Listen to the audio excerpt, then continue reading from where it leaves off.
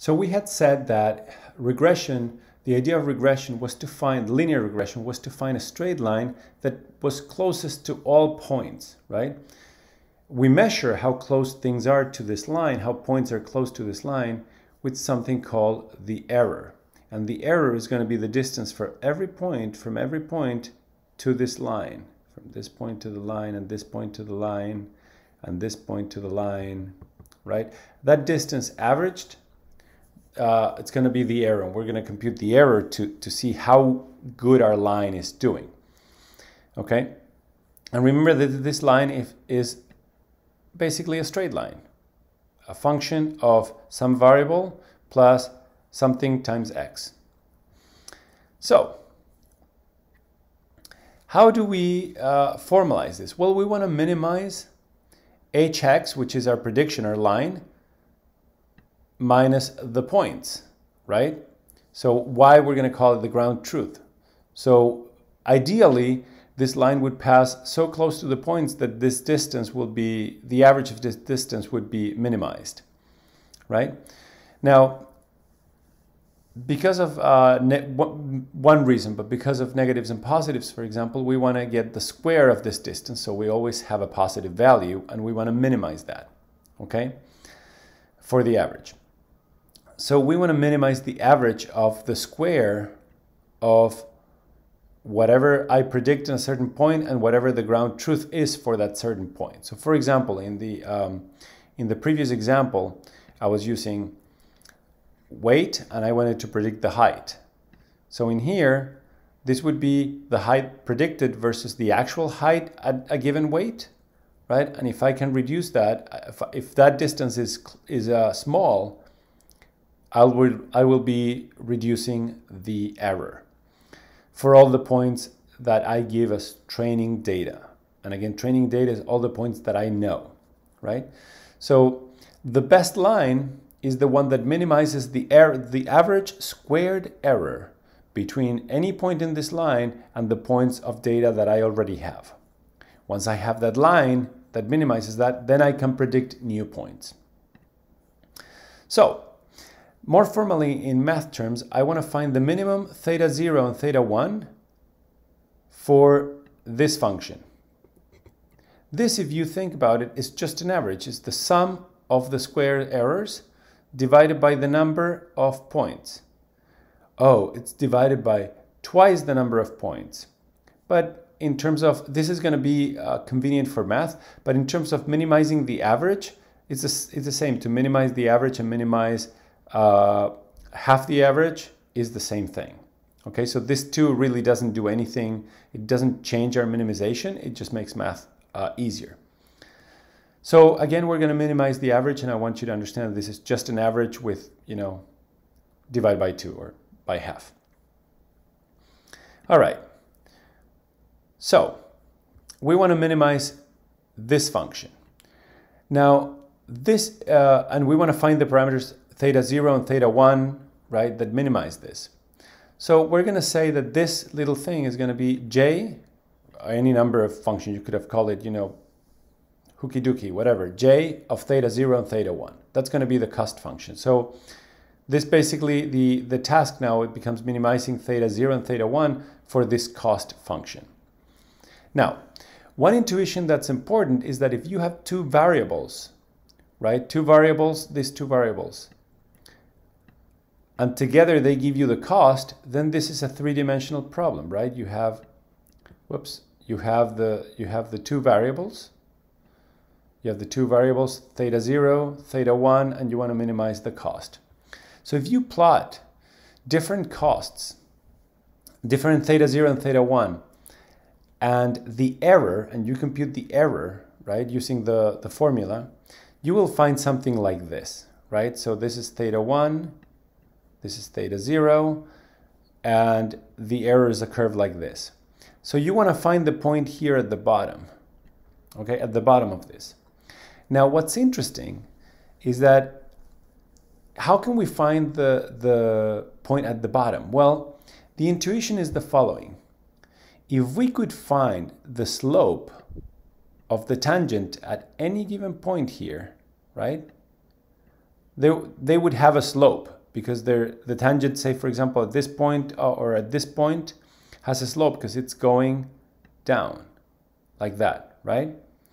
But in the minimum, if we look at it in two dimensions, right, this is like this.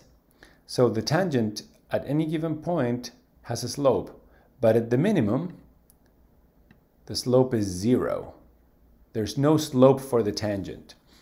So if we can find the slope of the tangent when it's zero, that's when it well that's when it's minimized.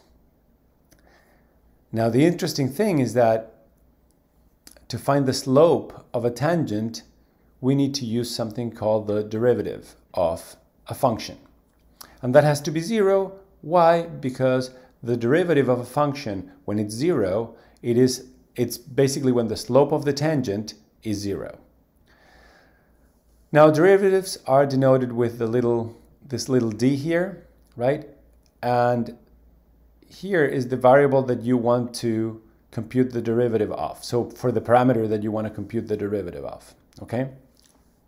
So in this case, I want to find the derivative for theta j, or and j going from 1 to 2 because I only have two thetas, right? So the derivative of this cost function with respect to theta 1 and with respect to theta 2. To do that, okay, if, if I expand j, remember j was this. Now I change my n to an m, but it's the same thing. It's the uh, basically minimize the, the derivative of the error function, right? This is the error function. So I want to minimize the, I want to find the derivative of the error function and equate it to zero. Now remember that this h, h of xi, it's basically theta 0 plus theta 1, right? It's, it's our straight line. So basically this is what I want to find the derivative of and equal that to 0. And I want, I want to derive this with respect to theta 0 and with respect to theta 1. Now, uh, you might not know how derivatives work, and that's fine. I'm just you can just skip this, this slide if that's the case. But the derivative with respect to theta 0 and e equated to, to 0, you're going to get this. 1 over m times the summation of the predicted values minus the ground truth. And for theta 1, you're going to get the exact same thing times x, the x that you want. Now, if we go in more detail and do some, some more math that I'm not going to go over, right? You can follow this math. You will find that you can separate certain summations, cancel things out, and you will find that, uh, for example, theta 0 here is the mean of the uh, ground truth minus theta 1 times the mean of the x values.